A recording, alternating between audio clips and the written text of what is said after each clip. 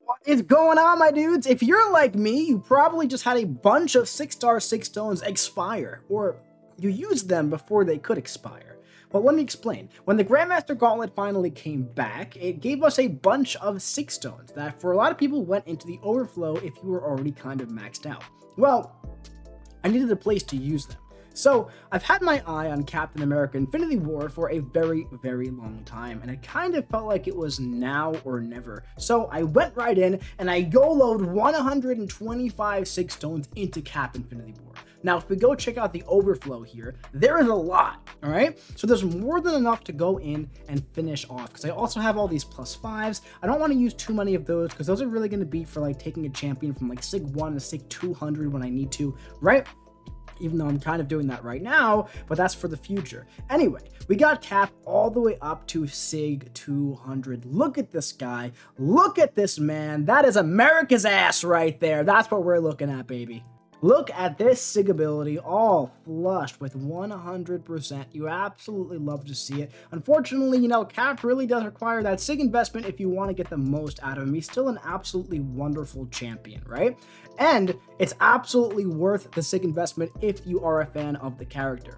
But the thing is, I wasn't 100% sold on Cap, on using everything on Cap. It was between Cap and another champion. And after I finished putting those SIGs into cap. I said, you know what, man, if we're gonna YOLO, we're gonna freaking YOLO today, and we're gonna do both of them. So I went up to Guardian, okay? Tech Guardian, not Red Guardian.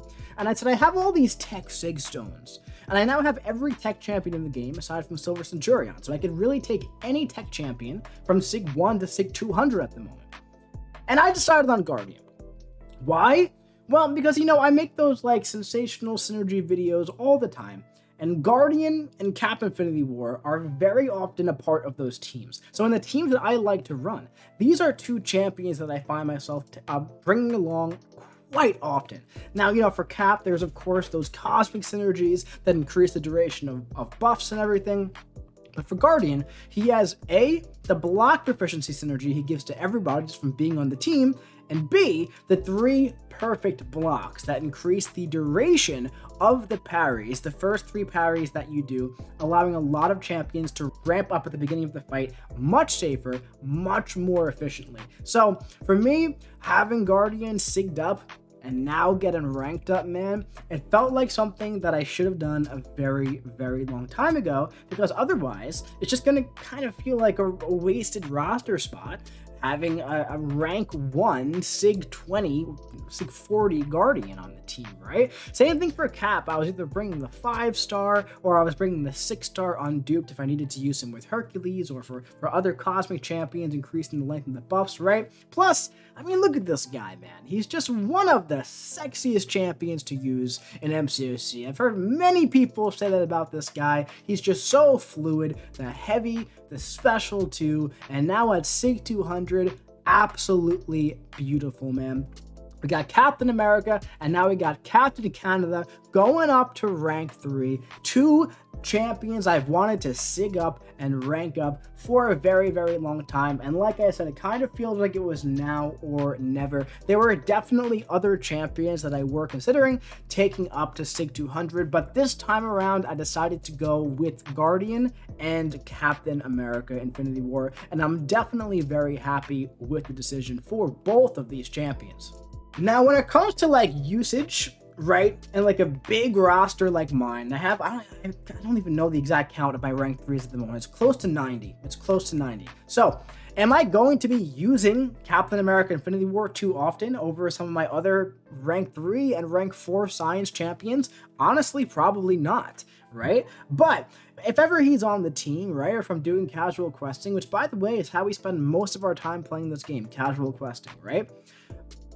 bringing him along on certain synergy teams, he's going to be an absolute powerhouse. The thing about his SIG ability is that all of these numbers here, they're less than 100% when he's not SIG 200. And you need that reliability at 100%, especially for stuff like, you know, um, on the tech one, 100% chance for a real-time block to place a Petrify. If you really need those Petrifies up, you need to be at SIG 200. Same thing for Cosmic, that's where he gets additional damage from the armor breaks, right? So you just want that reliability of having the debuffs on the parry.